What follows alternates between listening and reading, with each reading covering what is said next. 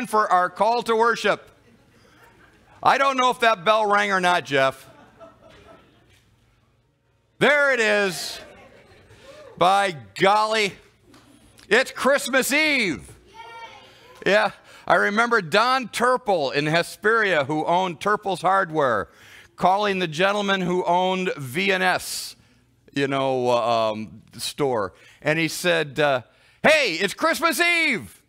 And he said, "Yes, it is." He said, "I haven't bought Helen anything."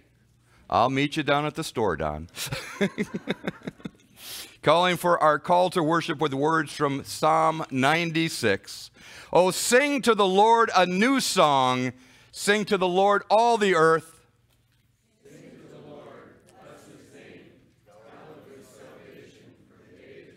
Let the heavens be glad and let the earth rejoice. Let the sea roar and all that fills it.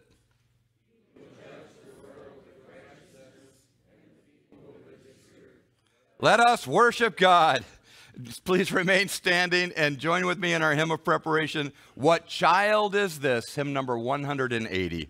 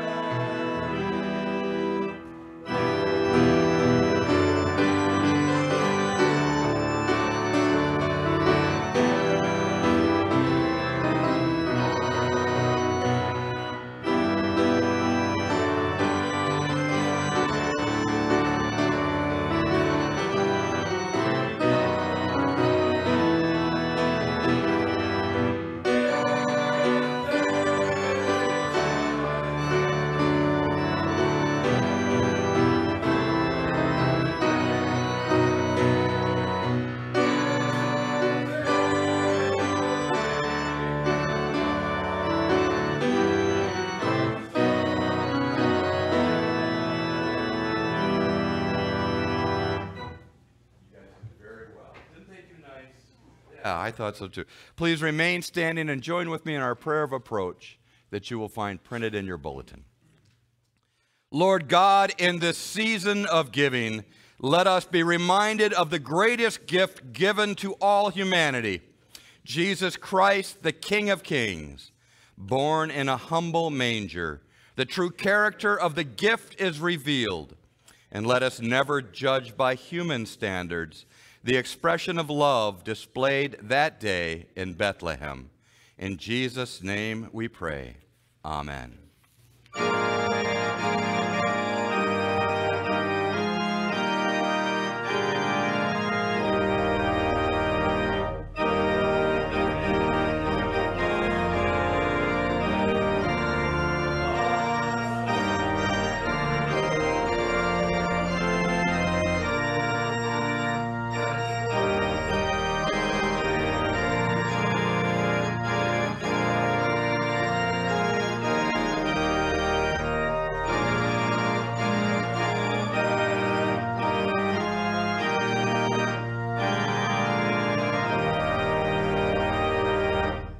Seated.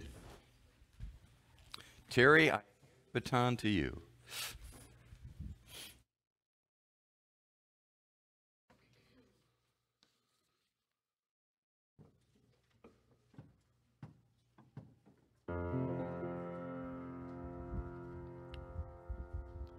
Sweet little Jesus boy, they made you be born in a manger. Sweet little holy child, they didn't know who you were. Didn't know you'd come to save us, Lord, to take our sins away. Our eyes was blind, we couldn't see.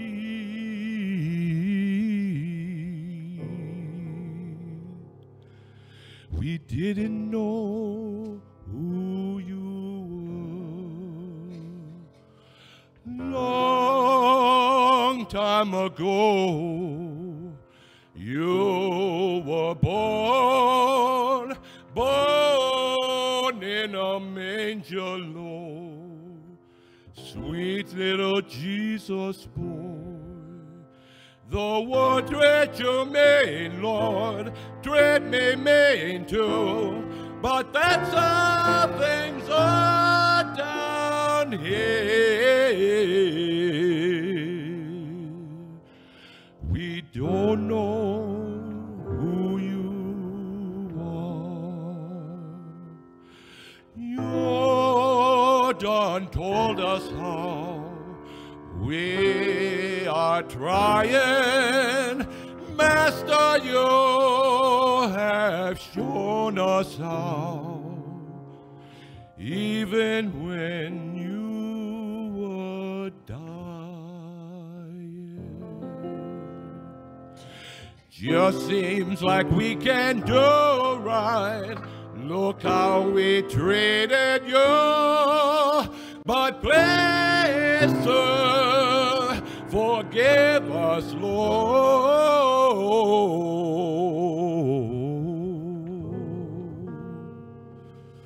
We didn't know you. Sweet little Jesus boy, born long time ago. Sweet little holy child, and we didn't know who you were.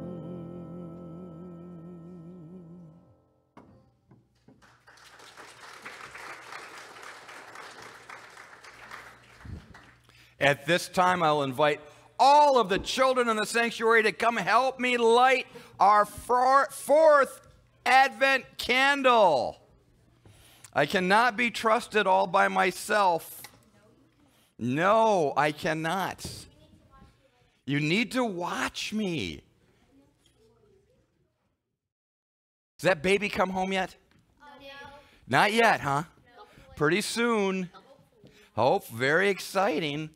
Okay. Hi there. Hi. How are you? There are boys over there. I don't know if you've noticed. It's a good thing that you get. Oh, there you go. There are actually more boys than there are ladies. I'm a little. Yeah. Well, stop it. This trend changes as they get older. If you look around you, there are more ladies here than there are men. So, but it's too foggy to play golf.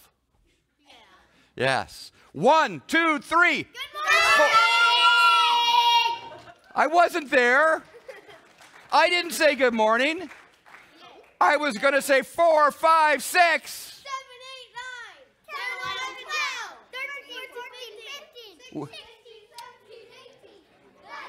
I've made, I, I have, I have a new calling. I'm a math teacher. Yes.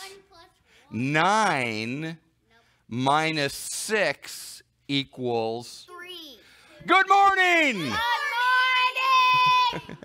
We'll take it. I did kind of throw him for a little bit of a curve there. All right. Come on down here. We're going to light our candles. It's always very exciting.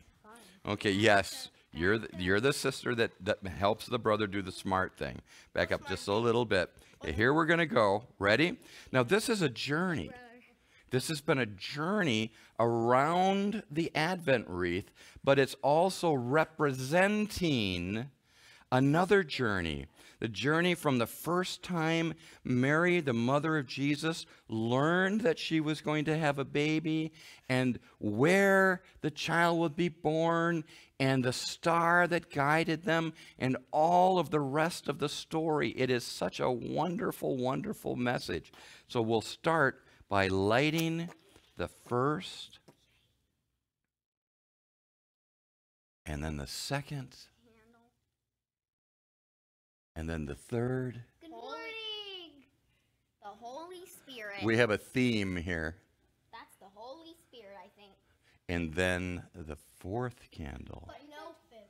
And I did it with one match. I'm very proud of myself.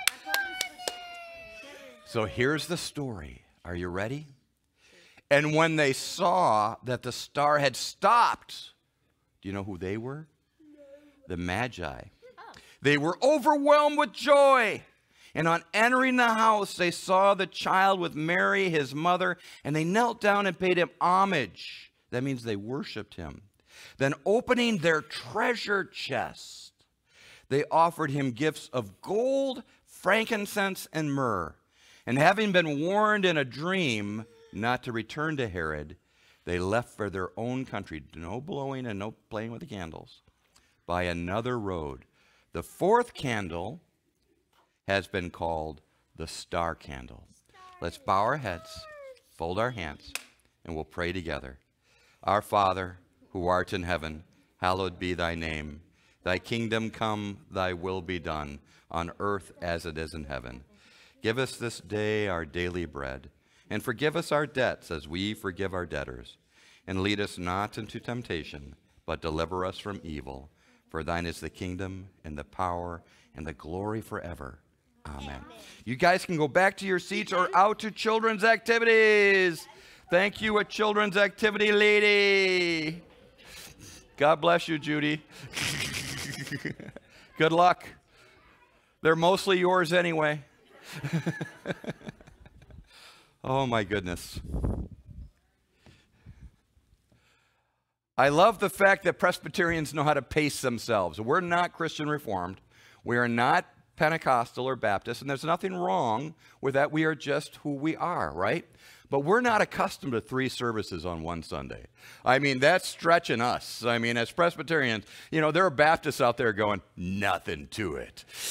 There's nothing to it. Unlike, you know, uh, if I was a Baptist pastor, I wouldn't, you know, because I'd be uh, in shape, I wouldn't need to take a nap this afternoon.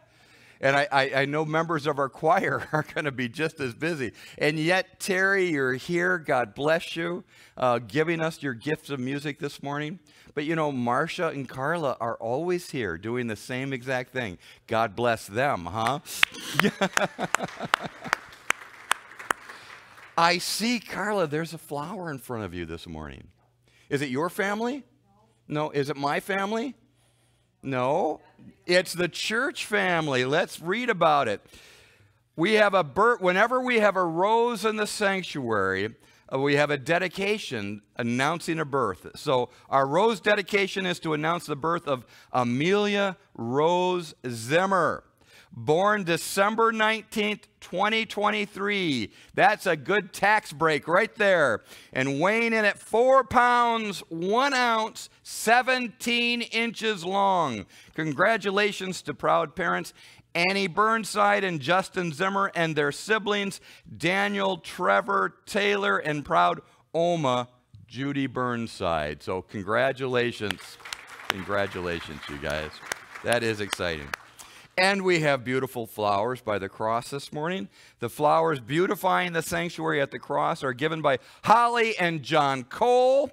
And I love this quote Glory to God in the highest, and on earth, goodwill, peace, goodwill toward men. We need it in the world today.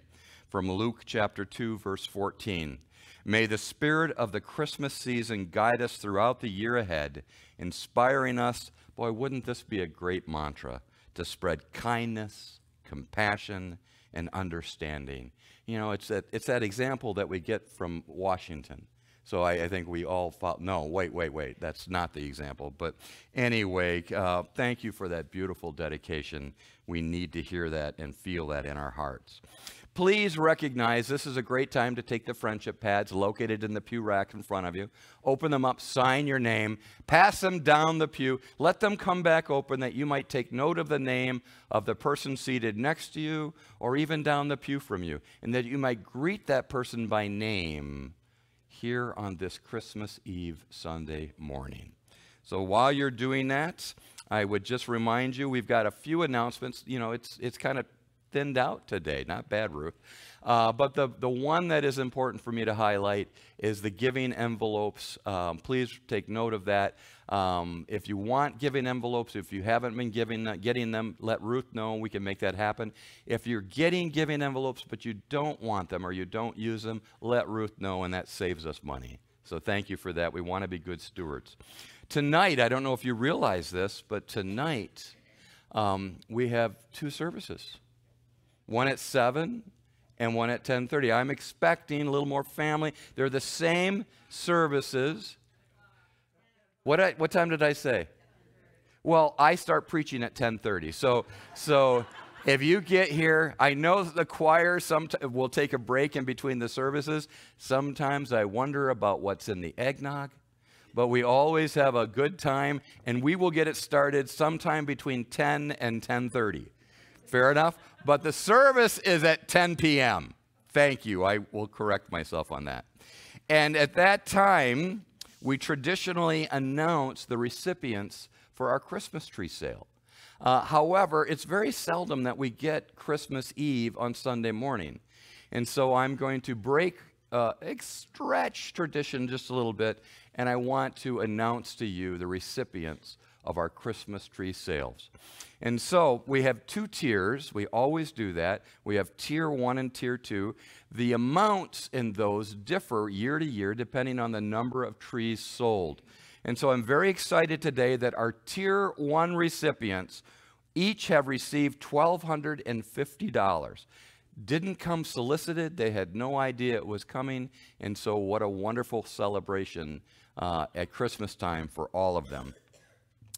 The first is a Kinderkirk Parent Scholarship. This means that for parents who may be struggling this time of year economically, uh, the last thing they have to worry about is pulling their child from Kinderkirk preschool daycare because we don't want that to happen. And so we have established a scholarship fund for many, many years to help parents to be able to accomplish this important goal. So they are the first recipient. Mosaic Counseling, another wonderful organization that provides clinical trained counselors, and especially in the holiday season, it can be very challenging for many families. So Mosaic has received a check from us as well. The Noah Project, we don't forget our fur friends, our furry friends, our friends with paws and claws and all of the rest. Um, so a, a, wonderful nonprofit, No Kill Animal Shelter, uh, has received $1,250. Uh, the SLPC Benevolence Housing Assistance Fund, this doesn't go to us, this goes through us. Uh, we work in, in uh, cooperation with many other churches in the region to take it a step above what normally Love Incorporated would be able to do. Um, we, we provide a team approach to helping offset maybe back rents, maybe uh, mortgage payments, uh, utilities to keep them from being shut off. And it was, it's more than one church by ourselves could do. And so we team with several other congregations and we provide these funds in a pool to be able to offset those needs. And then Step Up Muskegon. Step Up's purpose is to equip and empower young adults who have aged out of the foster care program. So you're 17 years old, you're 17, 11 months, and you realize that in less than a month, the funds that support you in foster care stop. And there are many families, foster families, who continue their care regardless but there are some who cannot. And so those young people are kind of left abandoned with great anxiety. And Step Up is a wonderful project to help ease that transition and help them financially and in other ways to be able to learn to support themselves in the months and years ahead. So, wonderful, wonderful recipients. Our Tier 2 recipients receive $750. The Little Red House if you're not familiar with this, uh, for families who have a loved one struggling with or dealing with dementia, um, it can be extremely challenging and to care providers, and what a wonderful opportunity for them to have a little a rest to be able to drop off a loved one and know that they're safe and overlooked and cared for, while they may do some shopping or just have a spa day or just have time to themselves for those few hours. So, Little Red House is a, uh, one of our recipients, have received $750. Our missionaries in the Presbyterian denomination, Kathy Chang and Juan Lopez, are working in Manila primarily with the sex trafficking that often takes place in the Philippines. And so this is their special call, and we want them to know that we have not forgotten their effort. So Juan Lopez and Kathy Chang have received $750 from you. Uh, our Association for the Blind and Vis- Visually Impaired. This is, I think, the first year that we have uh, worked with and teamed with this organization. And we always love to be able to support those who have received help in the past, but also to recognize that there are many needs out there. And so we are supporting uh, the Association for Blind and Visually Impaired. They assist clients by providing low vision services such as employment training, rehabilitation services, and assistive technology training. They try to ensure that every client continues to thrive in a sighted world. So, a total given away to charity in 2023 $8,500. We sold 230 trees. Thank you very much for all of your graciousness. Now, this is important too. Uh, overall, since 1993, 30 years, the total given to charity from tree sales, listen to this $279,720. So we make a difference in the world. And I want to uh, uh, point out specifically Ruth Sorensen, Bill Lyons, Judy Burnside, and our volunteers who have the setup crew and unloaders, the shed sales, the weekends and weeknights, and everyone who purchased a tree, and all who posted and shared the post on social media to make this a success. Once again, wonderful job. Please stand up and say good morning to the person standing next to you, wondering how many services they're going to attend today.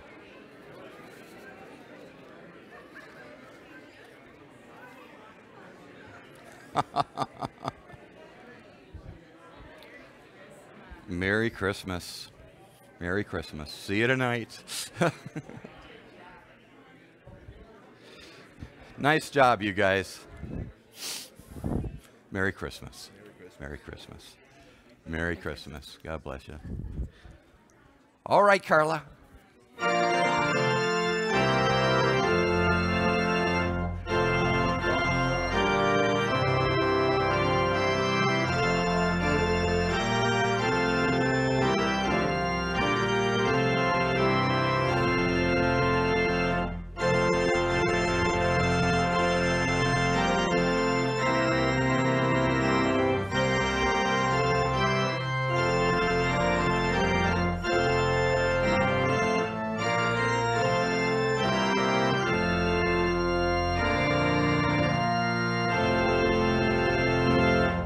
Please be seated. And now for the parents, I want to share that we have posted last week's uh, service, including the children's pageant. But subsequent to that, for our Kinderkirk parents, uh, we have posted on your website, um, and you have uh, or will be receiving a link for that. I'm sharing this now over live stream. Uh, with the Kinderkirk Children's Program. And what a wonderful time it was to see all of those children here. Uh, so thank you, Jeff, for taking the extra time to record that and to make sure that that's going to be up there as well for our Kinderkirk parents. This is a busy season, always very special. Let us pray. Gracious and Almighty God, we pray first of all for peace in a world torn with strife. We pray, Lord, for the seeds of peace to be planted in our hearts, for that is the fertile ground. That's the ground that matters. And Lord, we pray for those who suffer as victims of violence, who live and wake every morning worried about their loved ones, their families, worried about food and their safety. We pray, Lord, that you would grant those in leadership positions wisdom, of course, but grace as well, and to guide them with a loving heart. And we pray, Lord, that when we fail as human beings, as Christians, as part of your creation, as politicians, Lord, that your grace would overcome our failures and that your love would be the guiding star to lead the Magi. Gracious God, we pray for our church in a time of social change that we would acknowledge our failings, our imperfections, our bias. But Lord, we would also acknowledge and proclaim the grace of the gift of your Son, Jesus Christ, whose very life and ministry was an example of how we are called to live sacrificially for others. And Lord, now I pray for parents, new and many old, grandparents and great grandparents. That you would give the energy this night to be able to do the tasks and yet to be able to celebrate with family and loved ones. We pray, Lord, for those who cannot be together at home this weekend. Lord, that you would grant peace and the knowledge, knowledge and assurance of their love. And we pray and ask for traveling blessings for those who are traveling in many different forms these days. We ask these things in Jesus' name. Amen. Our scripture reading should be familiar to you. It is from the Gospel of Luke, Luke chapter 2, verses 1 through 20. If you'd like to follow along in your Pew Bible, and I encourage you to do so, you should find the reading on page 832. Luke chapter 2, reading verses 1 through 20. Listen for the word of God. In those days, a decree went out from Emperor Augustus that all the world should be registered. This was the first registration and was taken while Quirinius was governor of Syria. All went to their own towns to be registered. Joseph also went from the town of Nazareth in Galilee to Judea, to the land to the city of David called Bethlehem because he was descended from the house and family of David. He went to be registered with Mary, to whom he was engaged, and who was expecting a child.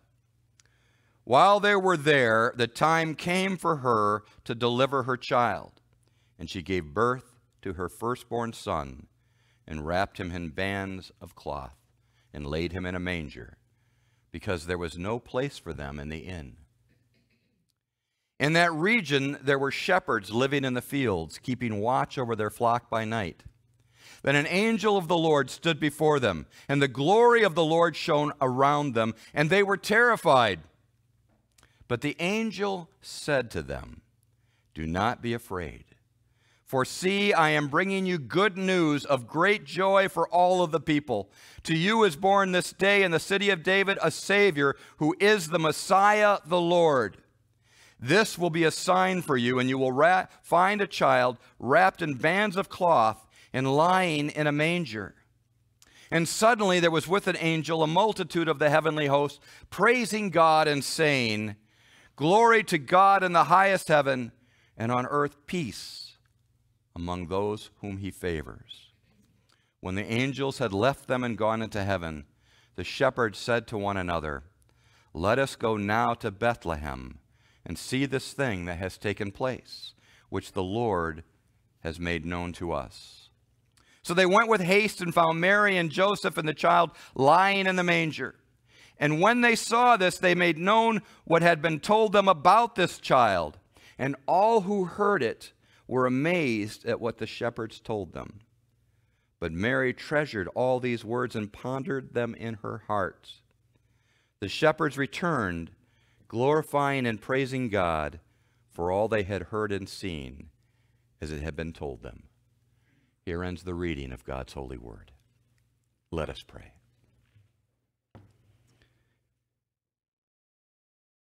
Gracious God, let your Holy Spirit rest upon us now. Let our hearts turn from the busyness of this day the grace of the true gift given to all humanity. We ask this in Jesus' name. Amen.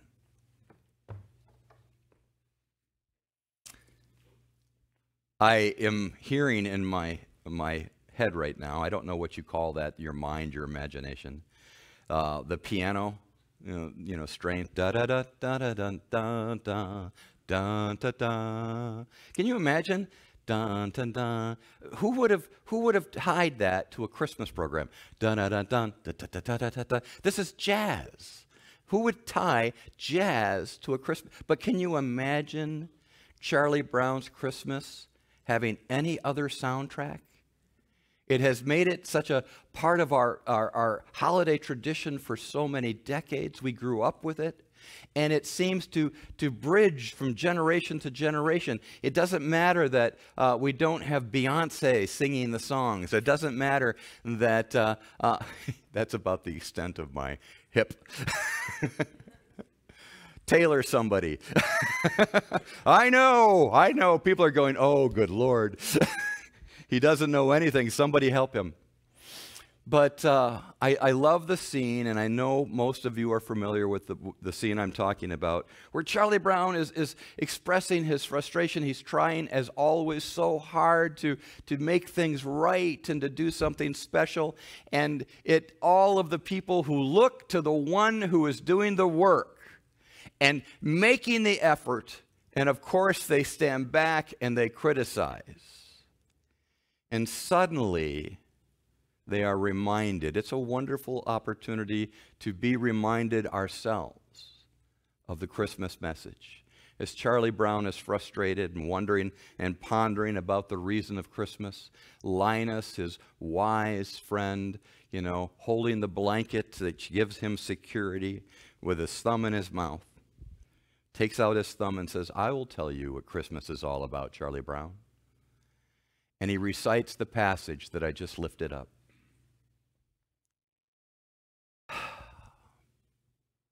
Can you take yourself there? First to Charlie Brown's Christmas. And it impacted the crowd of children. And they recognized that the silly old tree that uh, is always the last one that we sell here we call the Charlie Brown tree. the silly old tree that, that uh, uh, quite often would be used for uh, fish habitat as it's stuck under the ice, which we have none of right now.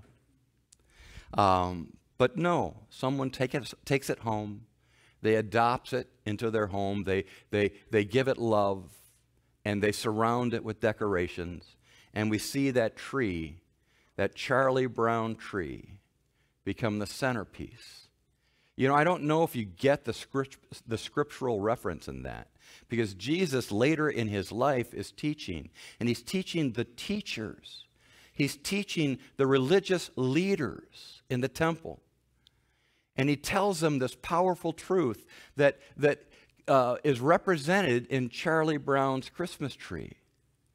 It's the stone that the builders rejected the stone that had been cast aside because it wasn't perfect it wasn't cut in the way that we thought it should be the corners wouldn't, weren't square the sides were not plumb it can't be used to build a wall but it can be the keystone that holds the arches together that keystone that once set in makes sense of everything else and gives security to the building. The keystone was one that was rejected. The tree, the Charlie Brown tree, was the last to sell. And it takes a special person to have the, the vision to see what can be. How many of us are like Charlie Brown's trees? How many of us find ourselves feeling that we're just not hip enough? Taylor Swift, isn't it? I got it. Yeah, I just wanted you to know. I got it. And Kelsey, somebody who plays for some team. I don't know. it's like soccer with helmets. I, I know. Uh,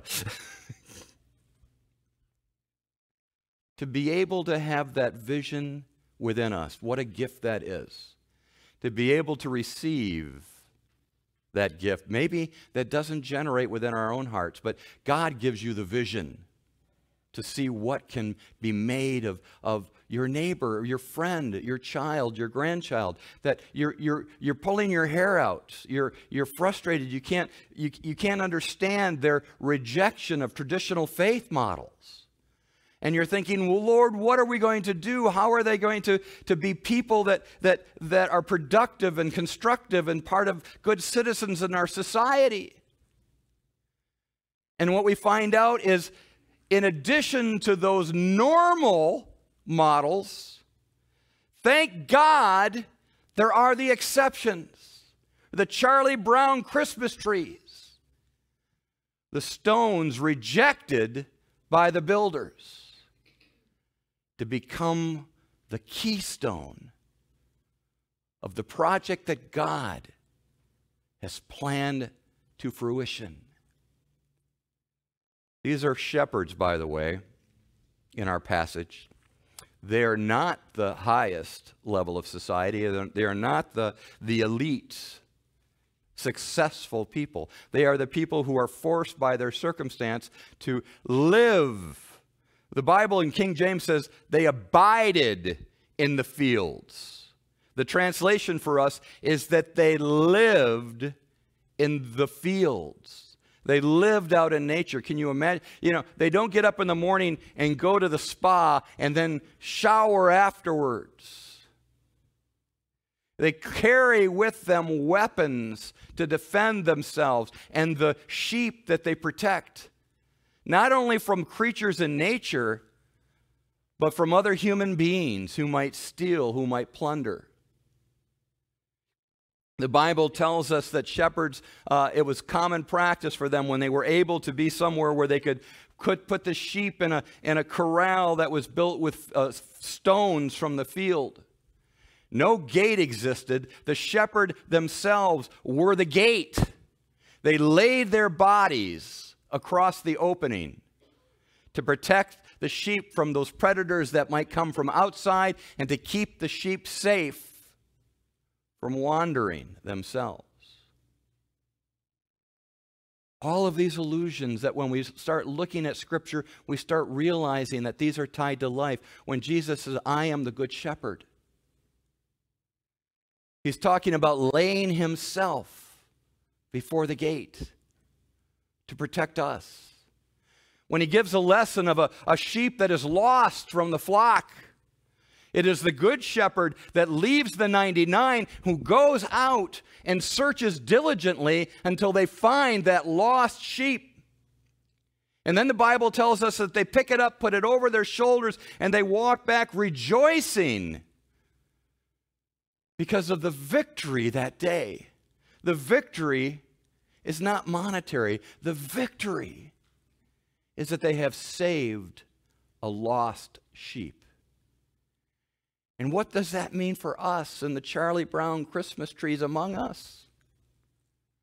That God loves us so much and that God made you just the way you are, regardless of what, what patterns that you might extend and boundaries that you might push or even live outside of. And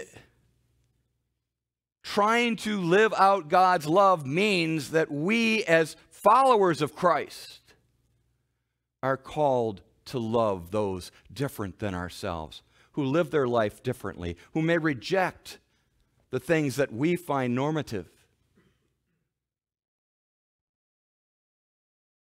that might reject the patterns. We don't need to understand them. We don't need to get the fact that that um, you know I, the first time I saw a person, uh, an adult wearing cat ears, walking down the sidewalk, I was like, what? and then I learned about furries. But that's just another way of saying, hey, I don't, I don't fit in. And how many of you, if you really think back, see, these are memories that we block out. If you really think back to how you felt as you were figuring out who it is that you are, some of us forget I wonder how many of the shepherds went back from that momentous night when angels appeared before them with this announcement that don't be afraid, for I bring you tidings of great joy, for unto you is born this day in the city of David a Savior who is Christ the Lord. That's the King James Version. Who is Christ the Lord. And this shall be a sign unto you. You shall find a babe wrapped in swaddling cloths and lying in a manger. Now, we hear that phrase so often, we think it makes sense. But when the first recipients of that message heard it, they thought, a child lying with the animals, just like us. Just like us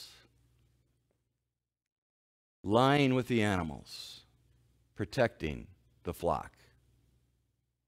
Let us go and see this thing that the angel has made known unto us. So the Bible tells us they went and they searched. And in this process of searching, can you imagine uh, a handful of, of rough men who have left their flock in the hillside alone, going and knocking on doors, calling out, where is the child that was born? For an angel told us that he is the fulfillment of prophecy. And it begs the question whether other people followed them as well, their own curiosity being sparked to the place where the babe lay in a manger. And the Bible tells us that they made known all around to everyone who would listen the word that God had sent to them from the angels a powerful night and a powerful message. God's Christ, the fulfillment of prophecy, born not in a palace, but in a stable.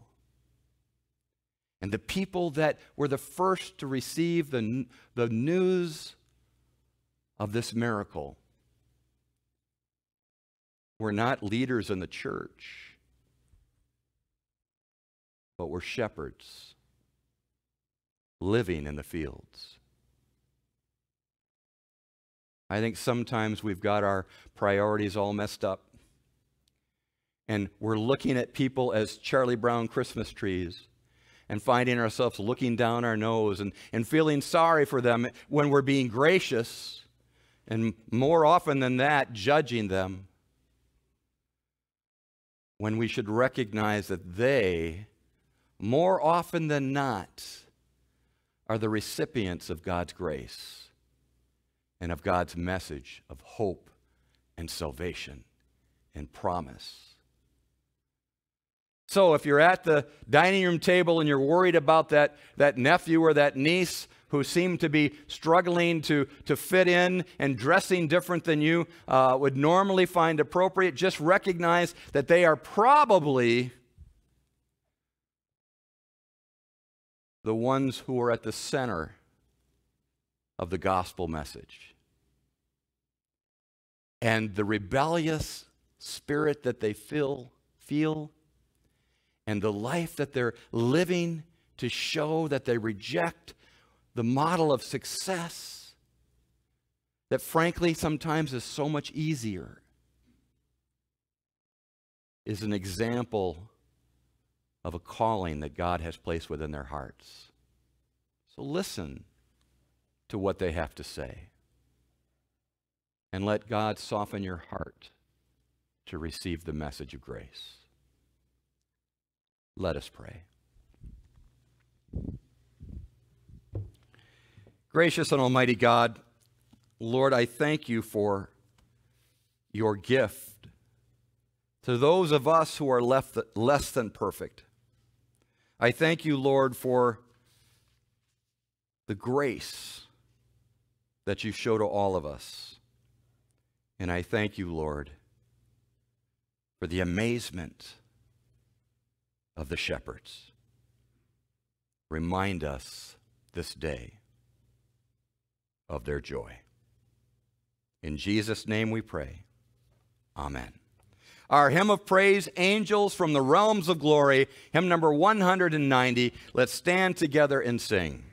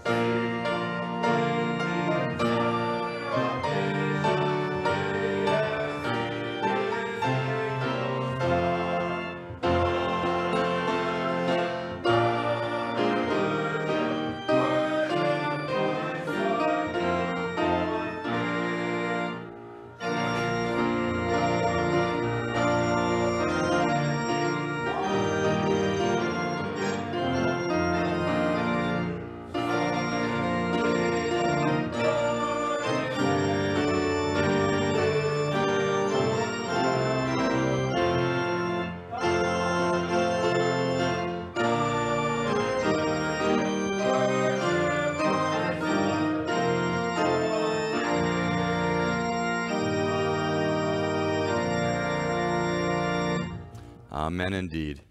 Please be seated. Let us pray. Gracious God, receive these gifts from our hearts in this day of giving. Let us be reminded of your grace and glory. In Jesus' precious name, amen.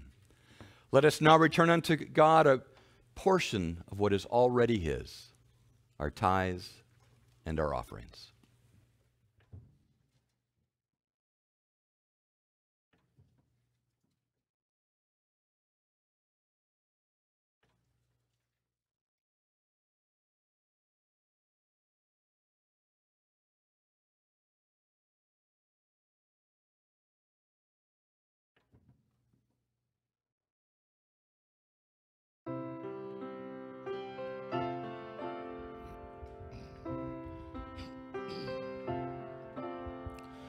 Chill of the nightfall, lamps in the windows, letting their light fall clear on the snow. Bitter December bids us remember